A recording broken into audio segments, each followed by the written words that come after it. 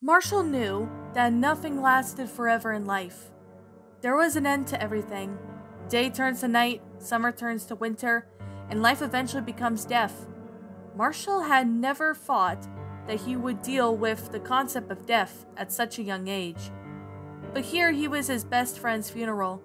He tugged at his collar of his tux, trying to ignore the itchy feelings as he wanted to watch the others mingle or say their farewells to the open casket. There was a miracle that Ryder had managed to hire good enough morticians and doctors to heal Chase's body, so it could be something less, it was still somewhat scarring. But compared to what he and the other, when the truck hit him, it was a miracle to even see his face clearly. Closing his eyes, Marshall felt a tears running return as he raised a paw to his heart in effort to stop the pain. But it did nothing. The memory of seeing his friend right there, clear as day, and he had been getting hit instantly, a second later to his doom, and it haunted him for days. The sight of Chase laying there motionless, with his body broken and bleeding in a state of ruin, and still managed to get a rise still of bile in his throat before he forced it down.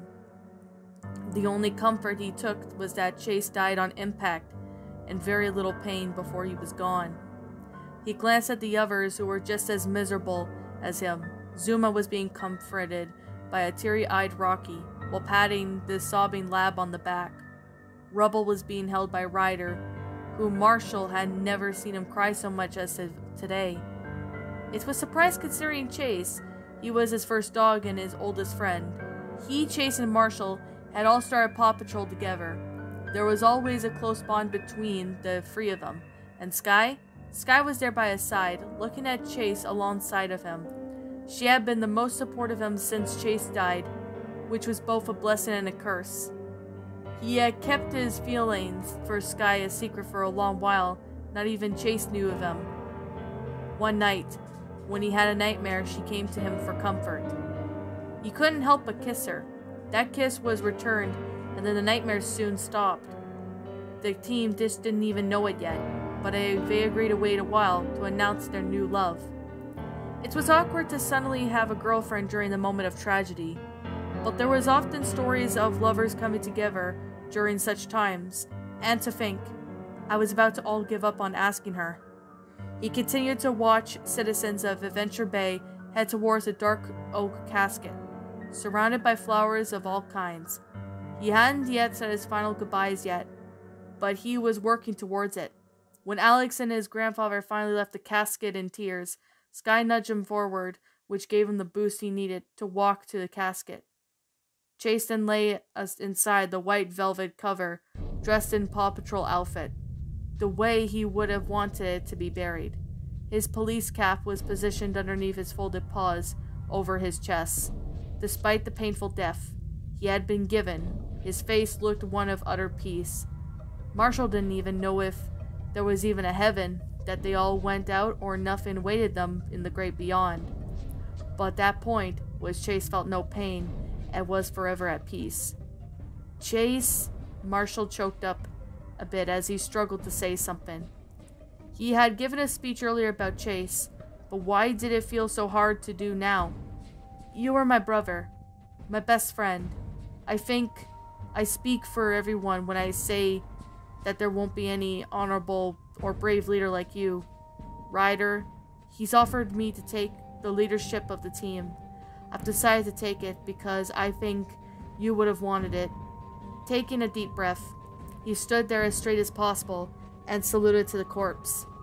I promise I won't let you down, buddy. Take a good long rest and hopefully we'll meet again. He leaned down and kissed his friend's forehead goodbye before turning around to, to the others while waiting for the burial to begin. However, unbeknownst to Marshall, the pups or anybody there, a mysterious cloaked figure walked towards the casket. It was an elderly English golden retriever with one pale eye staring at Chase with a toothy grin, and a set of teeth was missing a few too. She wore a purple cloak, with the hood covering half of her face, as she strolled down forward as of on smoke. Nobody paid any attention to her despite her standing out. She stared at the body and smirked. Oh dear, it seems that you have fallen into a terrible fate. haven't you? She slowly drew out the single item a paw. A monkey's paw that was fully closed. And you left this, I'm afraid. Nobody escapes their fate or their sins, not even death. She gently laid the cursed item right beside Chase's head and pillow and chuckled. Sleep well, my friend. Sleep well, and thank you for visiting my store. And with that, she left. Nobody noticed the paw laying there in the casket. Not even the final prayers were said, and the casket was closed. And Chase lay there in silence as he slowly was being buried. And he and the paw would remain together, both in life and in death. And that, my little pretties, was Paw Patrol Monkey's Paw, a Paw Patrol creepypasta written by Havoc Hound. My final thoughts on this story? Alright, um, I first never actually heard about this story until, um, Sir Horror actually started narrating this story. Well, actually, before Sir Horror narrated this story, I remember Shadow Reader actually narrated this story back on his old channel before it was terminated. For some reason, though, I wasn't really sure when I would actually take a look at this story because, I mean, it has a really good concept. I'm not going to lie. The concept was honestly really good, as well as the good grammar. I mean, I decided to take a look at this story, and holy hell, this one was a dark Paw Patrol creepypasta. I mean, the last Paw Patrol pasta I narrated was uh, Paw Pup's Life Lessons or something. That was written by the Shadow Reader, and I did read part one of Paw Patrol The Final Mission that Shadow Reader wrote, but I don't really know if I will be able to narrate the rest of it or the full story of it because Shadow Reader said it did get lost and I think it on his old laptop or something. I can't remember. It's been quite a little while.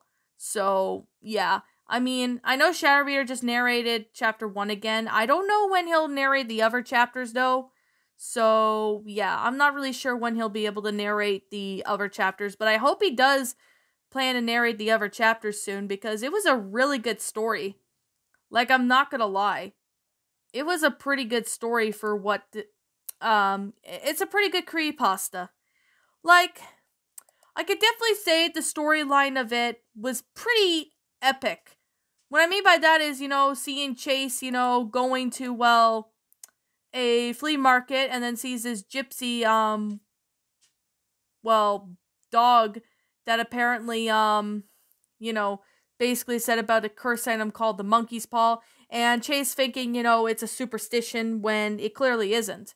You know the fact that the monkey's paw has like five wishes and every wish chase wished for it, it does have a consequence. Like mo- some of the con- most of the consequences in there had you know, dark, like one of them being Marshall dying, and then Skye ends up taking her own life, and then they come to life as zombies. And it all turns out that, you know, um, the monkey's paw item or something after the last wish was done, I think it just, you know, reverts back to, you know, what would have happened if Chase did not, you know, make any of these wishes or something. Chase ends up dying at the end. I mean, I mean, this is honestly a really well made um story. I'm not gonna lie, this is absolutely a well made Paw Patrol creepypasta. I gotta be honest, when I first um heard a few chapters from Sir Horror actually narrate this, I actually really do like how this creepypasta went out. Now, I know I believe someone or maybe a few people did request me to take a look at the story, so I decided, you know what, I'll go ahead and take a look at the story, and I honestly thought this story was good. It was a pretty good story. I mean, yeah, depressing, but it's still pretty good. At the same time, I know it was depressing as well, but it's still a pretty good story for how this how the concept of it went out is just amazing. Like I like the fact that you know um the, concept of it was pretty good and the good grammar in that. Also, the the author of the story, Havoc Hound he also draws some fan art of um well Paw Patrol like um you know Paw Patrol Monkey's Paw story. I mean, I gotta give it a shout out to Havoc Hound If he were to ever or she were to ever see you know this story or the narration that um Sir Horror did. I wonder if they will um I wonder if he or she or they would comment on this video and see how well made this story is. So, I mean, I do remember Shadow Reader narrate this story, but that was back on his old channel, and I wasn't really interested in Paw Patrol at the time. I mean, despite the fact that I'm not a fan of Paw Patrol, I really have to say the pups were are cute.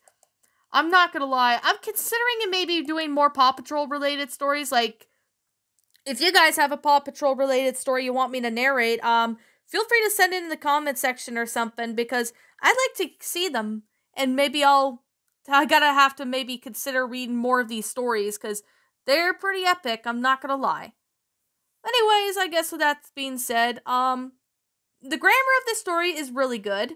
I could definitely say that, as well as the sentence structuring, the paragraph structuring. I love the concept. The plotline went out smoothly. I mean, it was shocking at certain times, especially with the deaths and all that, and the fact that, you know, Marshall and Skye become zombies. I'm like, wow, that was pretty messed up, to be honest.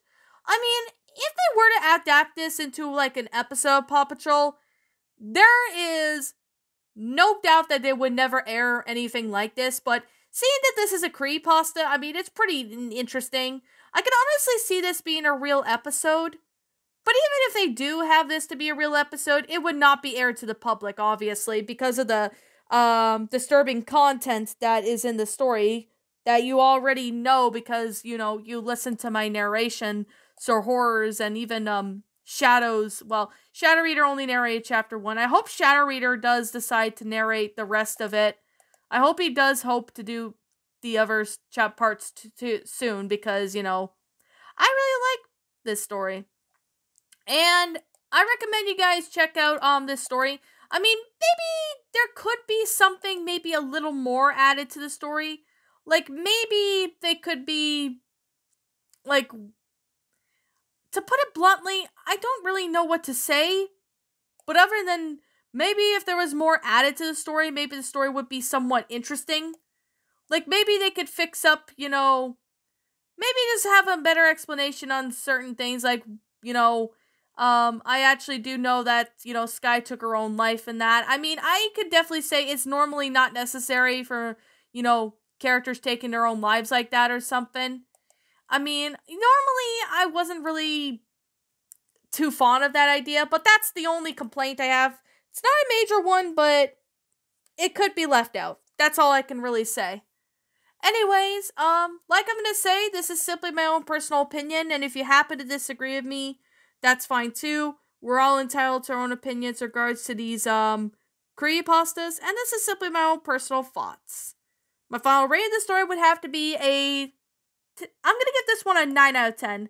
I'm giving it a 9 out of 10 because it's a well made story. It's definitely worth to read.